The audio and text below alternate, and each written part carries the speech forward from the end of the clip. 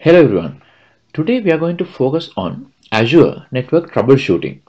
So when it comes to troubleshooting, it's not like normal on-premises networks. When it comes to Azure, everything is pretty much virtual.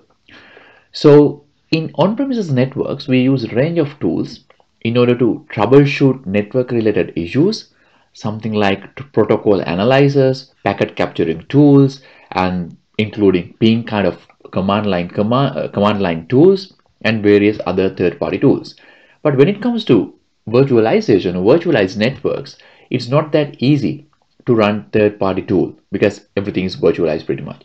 So uh, in that sense, there were certain questions asked asking about troubleshooting part of it and the networks. So in this video, I'm going to show you some of the networking components and features that we have in Azure uh, technology. So let's begin. So this is my Azure portal. So if you look at here, you have virtual networks there. So you can create virtual networks in Azure. It's pretty much similar to our on-premises network segment. And within a network, we can configure number of subnets. So I'm not going to uh, show you how to create a uh, virtual network today because our concentration today is uh, troubleshooting. So if you look at here overview, so this is virtual network and if you look at uh, the address space is in this case 10.2.0.0.0 uh, slash 16 and 10.3.0.0 uh, slash 16 and if you look at subnets so within the these virtual network uh, we have number of subnets so in a virtual network, you can have number of subnets, but single gateway subnet. If you notice, if you you know notice, we have single subnet, gateway subnet, and the option to create subnet has grayed out. So this is that. And also you can connect devices here. And if you go into subnets, let me go into uh, one of the subnets there so you can see the subnets are connected to the devices. Now, so as I explained earlier, so devices are connected to subnet and there can be number of subnets within virtual network. So within a subnet or within a virtual network, how to troubleshoot between two nodes. So that's what we're going to do. And there is a special tool or special service known as Network Watcher. So you can find this one. So this is the tool that we're going to use in order to troubleshoot. And once you create your virtualized network, there are few options available in Network Watcher. So this is the one. And if you go into topology, number one is you can select uh, your subscription and the resource group and the network and then it would show you the topology. So this is sort of a network map where you can just download topology as SVG file where you can open up and you can use this for various purposes including build your network and having network map. So network topology is very useful, especially when you are starting your troubleshooting or start your troubleshooting on virtual environments. Then you know exactly what are the components within your virtual network, especially virtual, you know, subnets, virtual networks, and also NSGs, network security groups, and other uh, interfaces. And then if you look at here, uh, there is another option uh, known as uh, connection monitor if you add here you can find out from running virtual machine to another virtual machine how communication works. In my case unfortunately I can't uh, you know show you this because my virtual machine is not running now because it's switched off.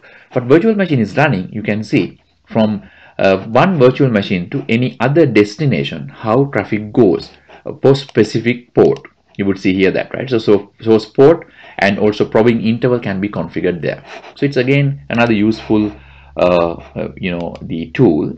And also you can create connection monitor right? So from uh, you can configure workspace configuration and then you can configure connection monitor there. And the next one is network performance monitor. For that you can connect these to Azure Sentinel which is a security information event management system uh, virtual. Uh, if you look at there I have created one workspace. There you can use uh, this workspace to monitor uh, the entire virtual network including you can connect virtual machines and other activity logs and so on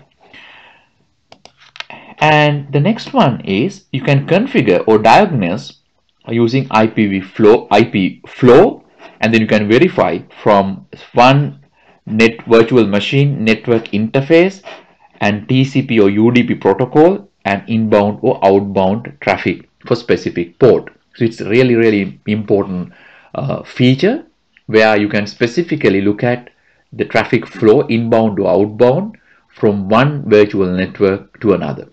And if you look at next one, the next hop, something similar to trace route or trace RT command where you would understand from one source IP to a destination IP address, what are the hops in between. So it's again really important uh, when it comes to troubleshooting. The other one is when you configure uh, rules of uh, firewall rules. In this case, uh, network security groups or NSGs. So you can configure uh, allow or deny traffic rules uh, using NSGs, network security groups. So when you have that, in order to understand what are the traffic that you know our NSG blocking or allowing, in order to understand that they have given these effective rules so there you can configure uh, you need to specify the uh, group and the virtual machine. Again my virtual machine is not running. If uh, it's running it runs.